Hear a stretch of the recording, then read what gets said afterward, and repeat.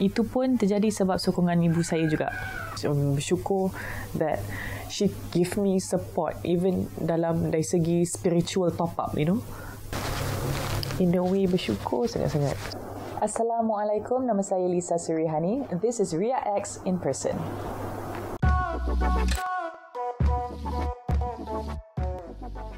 Minta maaf eh bagi mereka yang sedang menonton sekarang ni ada production lain di rumah sekarang ni yang tengah syuting. Jadi mungkin sambil-sambil saya jawab ni akan dengar action, cut, dialog-dialog dan sebagainya. Jadi saya awal-awal lagi saya bagi disclaimer dan maaf.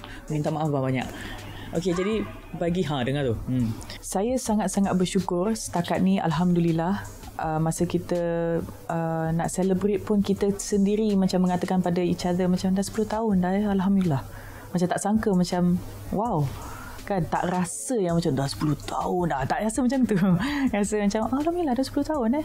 Sangat-sangat bersyukur. Kita berkahwin dengan keluarga masing-masing um, with each other uh, tu tak ada isu besar-besar. Alhamdulillah sangat-sangat bersyukur. Harmoni tu ada semuanya dengan izin Allah. Okay, kalau misal katalah kalau ada pengalaman yang mungkin perselisihan faham ke apa ke macam benda tu tak tak melarat uh, benda, benda tu kita boleh bawa bincang. Mungkin komunikasi tu penting. Komunikasi yang yang agak jujur. Yang betul-betul jujur dari hati tu mungkin.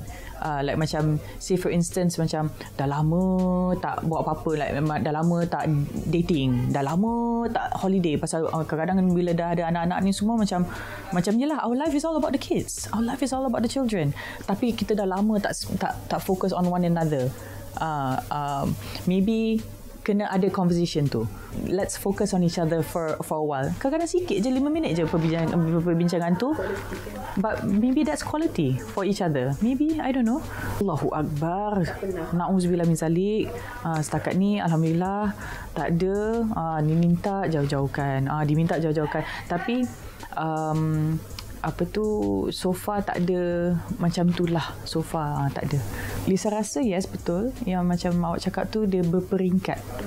Uh, mungkin masa awal-awal saya mula memakai tudung saya ada beberapa benda yang saya kurang arif mengenai uh, penutupan aurah yang sempurna tu mungkin saya kurang arif masa tu.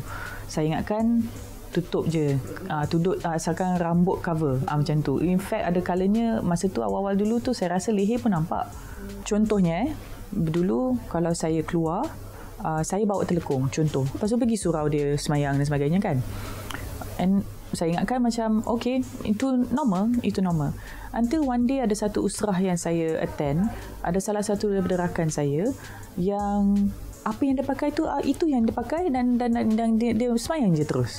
Macam uh, saya punya proses berfikir masa tu macam oh boleh ya macam ni. Tak meaning tak dia bukannya mesti telekung uh, macam tu. Saya terfikir tentang kalau aku keluar jalan-jalan macam mana nak menyenangkan keadaan untuk untuk just solat je. Macam tu lah. So dia start daripada that thinking process kot. Uh, saya pun macam oh macam tu. So saya start beli uh, arm socks ni. Dah lepas start pakai tu macam oh dah start rasa selesa. Dah start rasa selesa macam tu. Lepas tu um, tentang tudung labuh tu macam terfikir juga. Kalau solat kalau macam pakai pendek mungkin tak berapa sesuai. Mungkin sebab bentuk masih nampak. Mungkin macam tu lah. Macam macam proses belajar tu slow-slow. Setengah orang kata boleh je uh, simpan wuduk. Dan kata simpan wuduk di mana? Okey kita ambil wuduk dulu lepas make up ni semua. Saya, saya bagi saya macam okey lah. Bagi saya saya lebih selesa untuk um, biar selesai solat dulu tanpa tanpa calik makeup apa-apa then only mula. Bila keluar, saya pakai sangat light supaya senang bilas solat. Lepas tu pakai balik light-light macam ni. Uh, saya memang elakkan yang waterproof waterproof ni saya elakkan. Tapi saya nak cakap macam ni lah. Saya tak baik. Saya belajar nak jadi baik. Saya tak nak cakap yang saya saya memakai macam ni ke saya buat ini saya buat itu tu sebab saya baik nak tunjuk baik bukan saya mengharapkan dan mendoakan sangat keredaan dia. Saya maklum pada diri yang macam you know so easy sebenarnya untuk kita alpa lupa riak um, apa tu ujub it's so easy takbur. It's so easy lagi-lagi bila kita nak cuba baik pun benda tu pun boleh jadi benda yang jadi dugaan untuk kita semua. Hidayah tu milik Allah Subhanahu Wa Taala. Sebagai hambanya adanya hari kiamat akhirah tu insyaallah harapnya kita kena uh, strive usaha supaya kita dapat reward tu. Uh, reward iaitu jannah. Doakan moga dipermudahkan dan diizinkan supaya kita dapat keredaan Allah tu di dunia dan juga di akhirat dan kalau boleh kita doakan juga untuk orang lain. Just doakan moga ya Allah ya Tuhanku moga kau kau kau, kau berikanlah kan dia hidayah tu sebab hidayah hidayah tu engkau yang punya. Saya masih dalam proses. Bila saya tanya ustaz ustazah saya tanya pada asatizah okey macam mana nak kekal istiqamah? Solat jangan tinggal.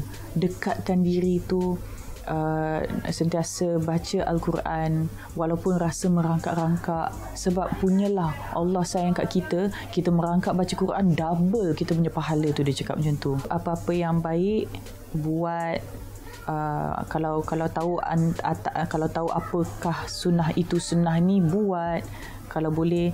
Dan juga yang antara yang penting juga adalah kita punya circle kita mesti dikelilingi orang yang baik, orang-orang yang nak mendapatkan keredaan Allah Subhanahu Wa Taala, orang-orang yang nak ke jannah, nak ke jannah. Walaupun yes, membolak-balik hati kita tu okey tapi kita help each other. Mungkin boleh mulakan dengan check and balance tentang apa yang kita tonton dari segi TV ke ataupun social media juga.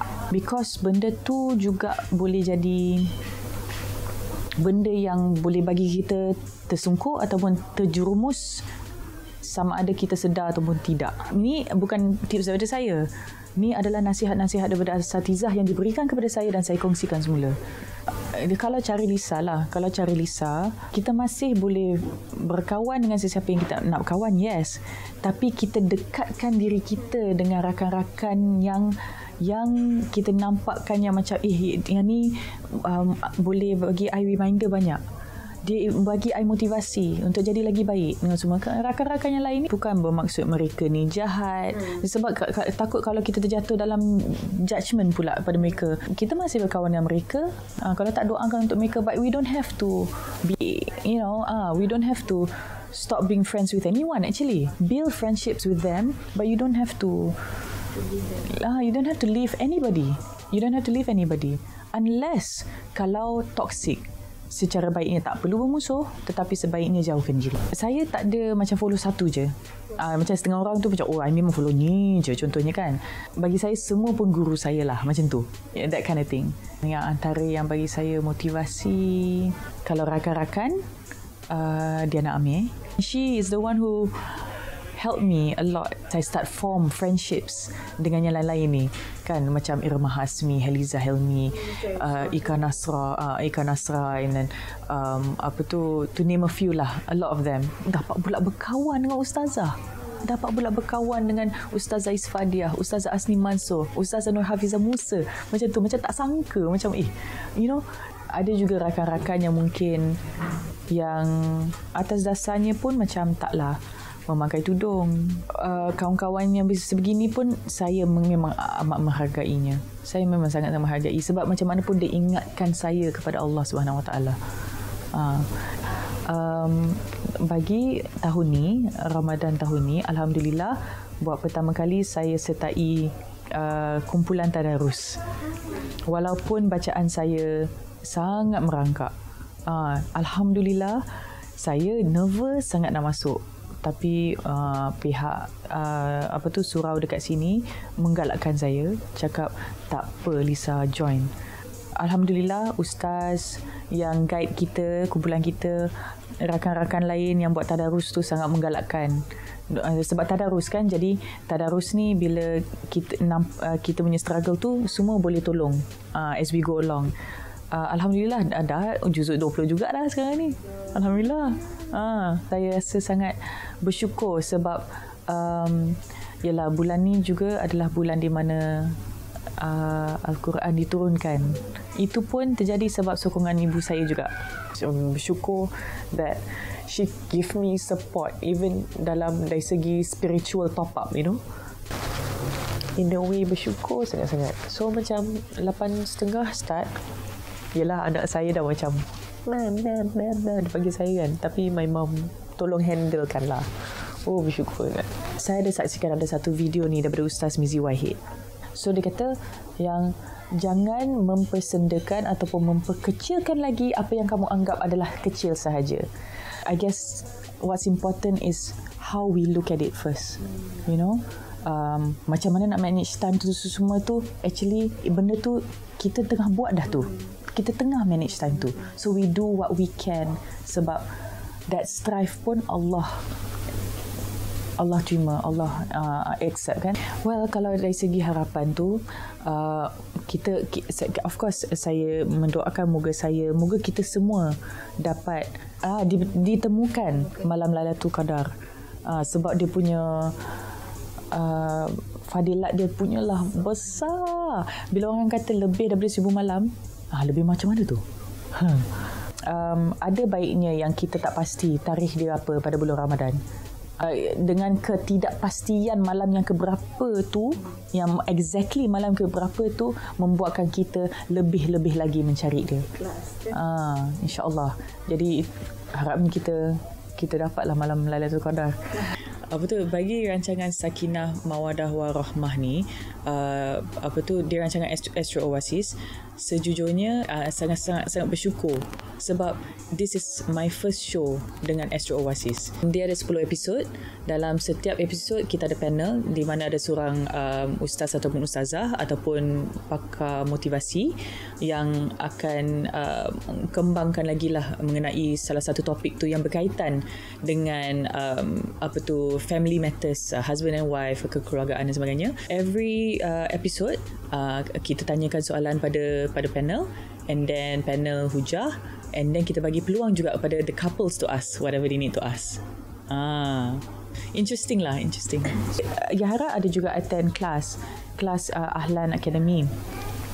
So kelas tu juga ada memperkenalkan uh, bulan Ramadan kepada uh, budak-budak dan um, untuk mereka memahami apakah itu fasting. It is the third pillar of uh, Islam.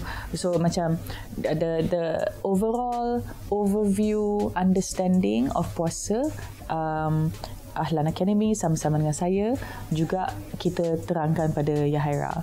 Dan saya tanya pada Yahaira adakah Yahaira nak mencuba untuk berpuasa?